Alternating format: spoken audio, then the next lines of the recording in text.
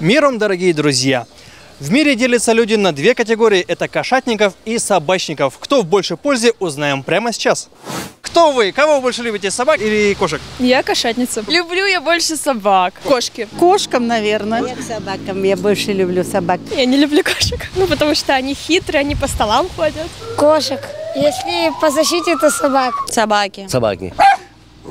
Понятно. Вообще я больше людей люблю. Мне и те, и те нравятся. Те и те по нраву. И те, и те вкусные. Не, И кошек, и собак дома одинаково. Сколько? По три. Кошки большие, жирные, и с ними можно полежать в обнимку. Если так, то собак люблю, а кошки, ну, они милые. Кошки, а вот э, поманишь, и они все, они уйдут. Идут, да? Да. Людям всегда нравятся, которые привязаны к тебе, которые верные к тебе. То есть Вот в розетку пошли бы лучше с собакой. собаки, да. Кошка придаст после... кошка в розетку ходит. Дружелюбные, они больше к человеку, они преданнее, чем коты. Кошки тоже, да. И, а кошки тоже преданные. Не знаю, кошки надоедливые для меня. Мне кажется, равносильно, потому что и кошки, и, живо... и собаки такие же приятные домашние животные, повышают атмосферу, уют дома и, в принципе, друзья.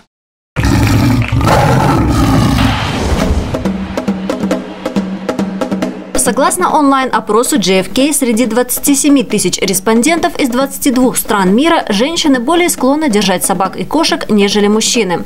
В России более половины опрошенных держат кошек, собак же менее трети. В стране более 15 миллионов домашних собак, а кошек около 30 миллионов. Собака приносит больше пользы, нежели кошка, ведь она отличный охранник, верный защитник и друг, хороший охотник, обладает отличным нюхом. Домашние животные – это выгодный бизнес. Согласно данным Левада-центра, беспородные кошки живут в 33% российских семей. Беспородных собак держат 19%. Породистых кошек и собак можно найти в 10% семей. Какая польза и какой вред от кошек и от собак? А, польза от собак, ты приходишь домой, и ты не чувствуешь себя одиноким. Ну, от кошек польза. Ну, Не знаю, мышей ловят, это банально, но они ловят мышей. Они мурлычут и нервы успокаивают. Ты сейчас нервничаешь. Я всегда Ты нервничаю. студент? Да. Если ты идешь с собакой по улице и подходит с к тебе микрофоном. с микрофоном, да. Да, вот. Если напоет гопник, она спасет? Конечно, загрызет. Ты девушка. Девушка любит гигиену, любит чистоту. Да. Ты любишь чистоту? Конечно. Окей. Кто чище? Не знаю, мне кажется, оба, обои. Обои. Обои. Видите ли какой-то вред от собак? Никакого. Никакого. Бешенство от собак, может быть, если укусит. Кошки, кстати, воняют хуже, чем собаки. Да? Да, намного. По этому вопросу сужу с точки зрения э, Господа, хотя, честно говоря, в Бога не верю, но природа. Что природа создала, то все полезно. Нельзя так. Собака где должна жить? В квартире или в будке все-таки? В квартире нет, если даже и не в будке, то в, ну, в какой-то отдельной пристройке в любом случае. Но не в квартире, не в доме. У меня у самого собаки в будке живут. Все-таки дом для людей.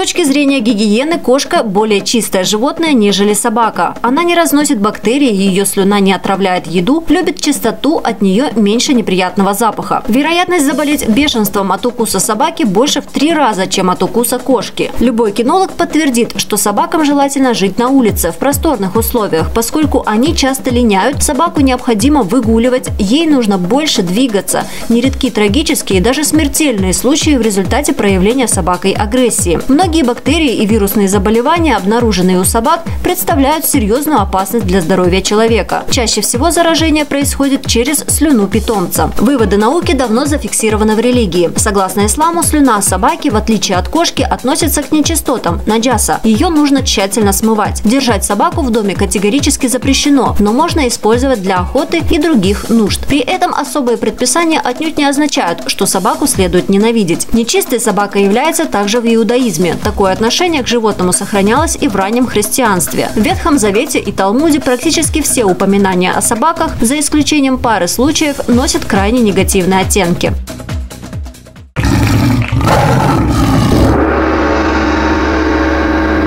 Из суны пророка, саллаху алейхи запрещено держать собак в жилище, там, где мы совершаем молитвы, там, где мы принимаем пищу.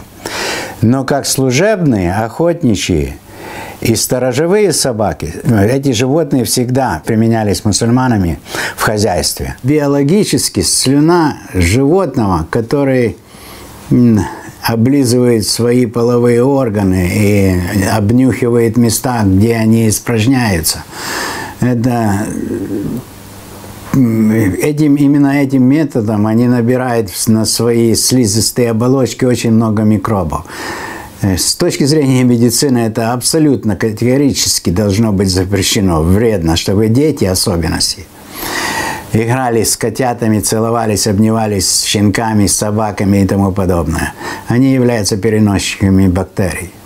Смешивание людей и собак, оно вообще является таким определенным трендом, особенно в западной цивилизации. В последнее время стали не только собак, но и даже и поросят, и других домашних животных рекламировать. И вот они с ними вместе живут, и целуются, обнимаются. И все вот это происходит для того, чтобы заполнить ту пустоту, которая остается после э, разрушение семьи. И пытаются как бы показать такой суррогат семьи, что у них, что можно не рожать детей, можно не выходить замуж, не жениться, а будешь счастлив, вот заведешь себе какой-нибудь поросенка, там собачонку, будешь с ней целоваться, обниматься, вместе спать, и, в общем-то, достаточно тебе комфорта и так. То есть окончательное разрушение всех семейных устоев, морально-нравственных и, и прочих устоев общества. Ну и мы видим, что ни к чему это ведет. Мы в ответе за тех, кого приручили. А главное, помните, что все должны быть на своих местах. Миром, дорогие мои. Пока-пока. Ba-ba-da-da-ba-da-da.